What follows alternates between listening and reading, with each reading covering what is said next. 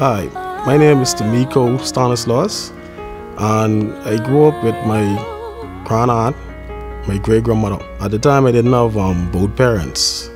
However, growing up um, with my grandparents, I was introduced um, to the Lord. I started off with um, Sunday school, so I could say the first part of my life I was in tune with God. Now, through my teenage years, when I got out there, I started to hang with, um, I'll say, the wrong crowd. And that is when I started to do things that I'm not proud of.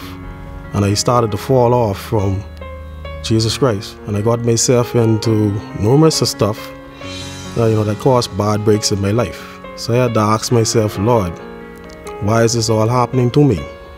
I said, there has to be something better than this. And I got a job at Sandals in 96, and my life started to change around. And I got back into Christ. But however, not being around the right type of people to encourage me, I fell back in. And during that time, some depression that came into my life.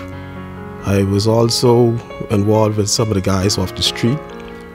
And I said, man, it have to be a better life than this. And I got a friendship with somebody who was at a church.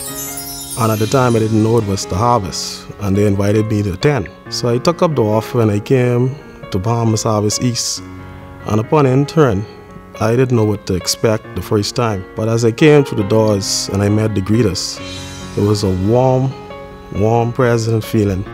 And I felt accepted, I felt wanted. I said, as I came into the sanctuary and I sat down, at the time, it was, the topic was driven. And this was about three years ago. And I sat through the praise and the worship and immediately I started to feel like a burden left off me. When my eyes, you know, tears came there. And after Pastor Mario preached the sermon, the exact sermon actually spoke into my life at that time. And I said to myself, this is what I need. From then, I've been attending the Bahamas Harvest now for three years. And it has been a great pillar of strength for me in my life and I can say a lot of things has changed tremendously.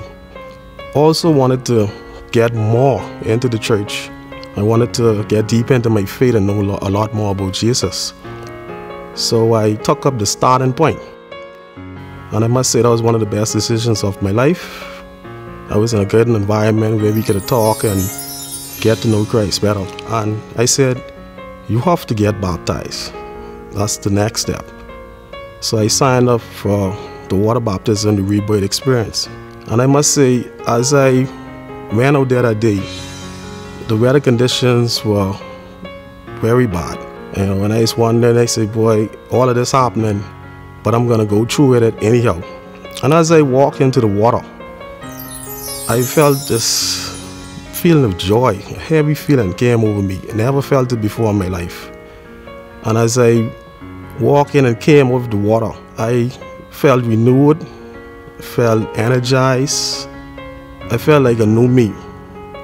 I just say, Lord, thank you for this. And this is Tomeko Stanislaus publicly professing that Jesus Christ is my personal Lord and Savior.